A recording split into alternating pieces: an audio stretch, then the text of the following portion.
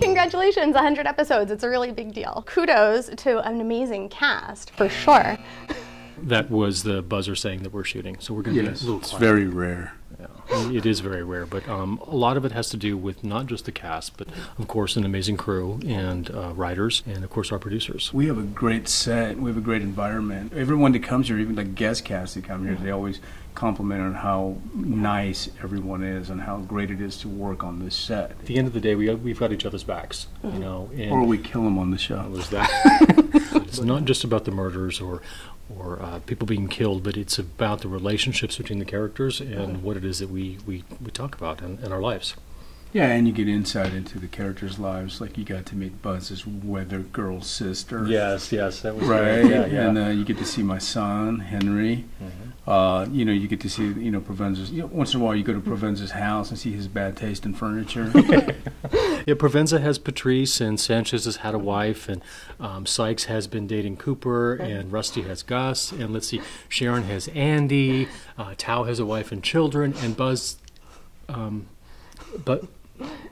Buzz has a bicycle. Yeah, yeah. I, I knew where this was going because last time we spoke, we had like fingers crossed Yeah. that Buzz was going to get someone. Yeah, someone must have uncrossed their fingers because he's still got the bike. We've actually seen a big wedding that Mm-hmm. fans didn't know would take place certainly this season, if, if ever. We've been Yeah. waiting for an engagement. What was that wedding like for you guys behind the scenes? Mary McDonnell's daughter Olivia actually sang. oh, Um, like an angel. gorgeous, gorgeous, gorgeous voice. So she actually performed and was singing for her mother um, as, as hired help, though. Mm-hmm. What is something that you think audiences don't know about the other? Raymond is actually a really, really nice guy. He really is. He's, he's like a burnt, I liken him to a burnt marshmallow, kind of crispy on the outside, but sweet and soft on the inside. Philip is evil. He's mean and nasty. you will never guess by looking at him. On a show like this, there are lots of really fun props, and you get lots of bodies and things like that, and guns. What have been some of the props that you guys have had the most fun with? Oh, I want to jump in on this. Raymond had a switchblade, and we it was an actual switchblade. It was a stiletto. That's what it was. And he had been rehearsing this scene uh, without gloves. And then when we sh- went to shoot the scene, he had these these weighted gloves on, Leather and, gloves. and he picked it up, and I couldn't feel the buttons on the and the blade. button actually went off, and it sliced through the glove, went into the palm of his hand. He Right didn't- into my hand. He didn't oh. flinch at all, and we Pulled it continued the scene, and he was bloody. And Kyra screamed. This was on Ran. on the closer, so that was an interesting prop to work with. Yeah. Then he went to the hospital and said, "A Mexican stabbed me." Well, the doctor asked what happened. I said, "A Mexican stabbed me with it. And the doctor said, said, "Those "Those darn Mexicans, Mexicans and their their knives." knives. And I think it's a real shame that we don't get along better as a cast and as friends. You know, so. I agree. Now, that's one of the things I keep hearing that the cast just doesn't get along. Not at all. No, I mean, I had to force Raymond to be my best man at my wedding. Philip so- and I are actually really good friends, and we play golf together all the time. Philip is the best dressed golfer. Yeah, I'm not a good golfer. My, my game is not great, but I look pretty good. So That's right. I like that you led with he's the best the dressed. best. Yeah, yeah, yeah. So, who's the best actual golfer? uh, I'd have to say Raymond. Yeah, me. Tao, Tao's pretty good. Tao's really good. We have to lead with our strengths, you say. Yeah. Yeah. And I like that you referred to him then by a character name. You I can't remember his name half the time. Well, when Raymond and I first started hanging out, he would always call me Buzz, which I still call was- you Buzz. do. Have you been recognized on the street, Raymond? Oh You've my God, he's this- recognized Never. everywhere. We went to a Dodger game and Andy was there, and we had to pull mobbed. people off of him. He, he's mobbed everywhere we go.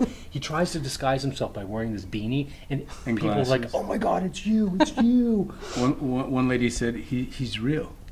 So, through the years, as we've seen your characters change, how have you changed personally? We've gotten older, Some of us have. You and I haven't. and, and others have gotten closer to death. Would you care to Is this mention which the- ones? Oh, you, you'll see. But we all look good, right? Beautiful. okay, okay. You guys look amazing. Okay, okay. Great in person, great on screen. Right. You're sweet. Yeah, thank you. That was where you followed up with. And you as well. we know that. That's obvious. It's, Philip, it's you true. amazing. So do you, Raymond. And Zoe, so do you. Yes.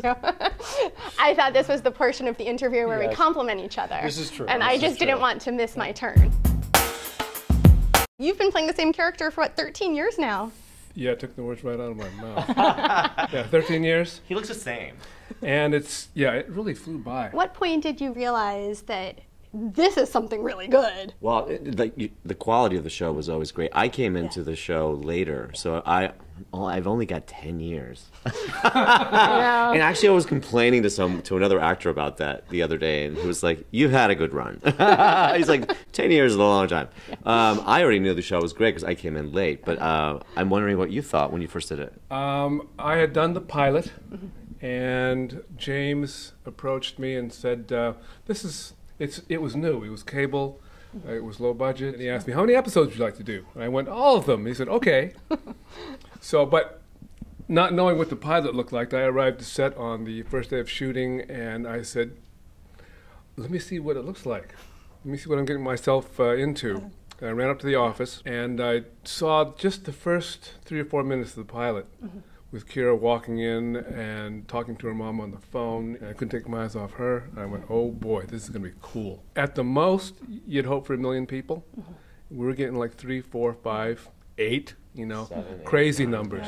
Crazy numbers. And it kind of, and we changed the way people started programming cable television. And most of the fans know the characters better than we do. What's really really fun about the fans is that for me as an actor, I you know I, I have a lot of exposition, but you do as well, just which is exposing like tech talk and things about the case, and I'll try to like and give it a little bit of personality backstory in my head. And it'll be a moment that I've thought about that I haven't discussed with the director. That I it was a moment that I thought about, and the fans get it every time. They'll be like, "Did he just flirt with?" I think he likes him, and it was like that's totally what I was playing. How they remind me of uh, Star Trek fans, which were, which is my was my bread and butter in life for a long time as a Star Trek actor. Uh, that level of commitment, I think, is what's kept us on the air. That's a really great point. Like the fans of this show are so passionate about that, and you don't often see such passion. And with social media, it's also a lot easier to reach out. So have you had experiences where fans have reached out and either said, "I can't believe your act- your character did that," or on the opposite side said, "Oh yes, that's exactly what I thought he was going to do." Yes and no. I, I, they never give me guff about what my character did. In, in other words, saying like he would have never done that. It's more like encouragement. Mm-hmm. Like I want you to do more of that. That makes total sense. So yeah, it's been. Though I think actually when I started, the first few episodes of The Closer, I I sort of replaced someone who was the coroner before me. There was a little anger about that. I remember there, and I remember thinking the first few episodes that had aired, and my character was sort of antagonistic and kind of bitchy, you know. Uh, they they did not like that I had replaced someone or that I had taken over that job in the morgue. Uh, and then they, they sort of warmed up. They've always loved you. he didn't have that problem. I've cut, well, I think that's because Brenda Leigh's character liked me. That's right. That makes uh-huh. total sense. That's why, and then I was always playing a, that I had a kind of a cerebral crush uh-huh. on Brenda from the get go. And I was always the one she went to for uh-huh. minutia. And then Major Crimes happened. And then chemistry changed. Mm-hmm. I had to kind of sit, step back a little bit and, sit, and, and, and think about, you know, how, how I want to proceed, because you know, because chemistry is everything. Especially this season, I'm starting to sit back and as and rather than spit out a bunch of uh, minutia, I'm kind of taking a, a, a broader look at things. I tried to take the uh, the geek down a quotient and put in the uh, the, the cool a little bit. I think that turning point for you was holy crap. Yeah. I think that was because so I'm not in every episode, so I don't like to read the episodes that I'm not in. So I, 'cause I I'm a fan of the show, and I like to watch them and be. And so the ones I'm not in, I get, and I'm I just died when that moment happened. holy crap! Yeah, holy, yeah, holy crap! was- Holy crap was one of the best lines. It was on funny, and, and it was one, one of the lines that it's something I never say. Um, so I really had to, you know, I was kind of going back and forth. Should I make it big? Should I make it small? You know, because there was, it, it, it- you know, because there was a payoff. Yeah. You know, and uh, it, It paid off. It paid off. Huge. Yeah. I, I think that that's when you, you you made your cool turn there, buddy. And I liked your point about having the character of Brenda like your character. It makes me think of like on a playground where if the popular kid says you're okay, then And- everyone's good. Yeah, and it was always a um, a playground to me. For some reason, her wardrobe reminded me of what all the little girls used to wear in elementary school. Yeah. When I was growing up, and she had that kind of charm, and she had that sense of play about her. Your character too, especially lately, I feel like we've seen a lot more. It's no longer just right the snarky at the Right. beginning. Like we have more happening. Well, they, You were on a crime scene. yeah, I, I, Solving the case. I, I solved the case. Up in a tree. Actually, I, I've actually solved two. My character, they cut way back on the snarky, which I kind of miss because I loved, I loved that part about him that he just was always didn't suffer fools and was completely bored by people that didn't do their job right and could not be more bothered. and I think he's matured into someone, uh, somewhat of a more patient person. Um, and so as that's happened, I think I, I- it's I've been more welcome into into the team, you know, because I'm not like rolling my eyes. Well, I am internally, but uh, but I'm not externally. Kate Mazur's character as well. We were kind of the outsiders looking in on on you guys because we we, we didn't work in the same office.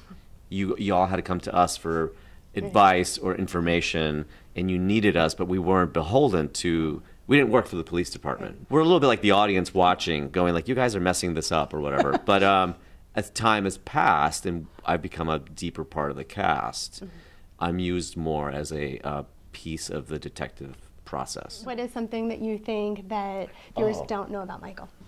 I think viewers don't know about Michael is that he's the coolest cast member and who's who's he's the only one whose life I would swap with because he and his wife have the best life. Like they know how to live and I I love that about you. I love that you guys travel. I love that you love theater and surfing, you know, that you have these very they have these very he has this varied sense of appreciation for the arts and and sports and stuff. So I, I, I'm guessing people don't know that about you, but maybe they do. They do now.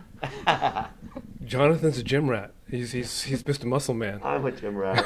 That's exactly what I used to be a mall rat. Now I'm a gym rat. He's a gym rat. He's uh yeah. If, if I could use his body for just you know, oh, I'd be so much better out in the water because I have to drag this al- this around. If, if I had that, I'd be I'd be on the cover of Surfer magazine. That's what happens when you're not in every episode, right? You have the time to I go to the gym. I have gym. days to fill. You know? Congratulations. That's such a big accomplishment. Not many shows manage to make it oh, this far. I'm very happy that this show that had a lot of doubt around it to begin with as a spin-off has become one of the few that make it to 100. That means something. It means something in the sort of legacy of television shows. I was hired to play three episodes in the closer and just come in and give Brenda Leigh a hard time and go. And I thought that will be fun. You know, Kyra and I were kind of excited about that. So it, it never in a million years did I picture myself saying, yes, a 100 episode. no, no, not at all. It's been a complete uh, surprise and joy. With the wedding that just came up this season, did you think we'd see it so quickly after waiting for that engagement? Yes, I did. My sense about James, particularly, is I just think he understood that he couldn't drag this engagement out because it, in order to keep it alive, we would have to keep talking about it, and we're trying to solve crimes. So mm-hmm. it's sort of you can't keep talking about your diamond, you know.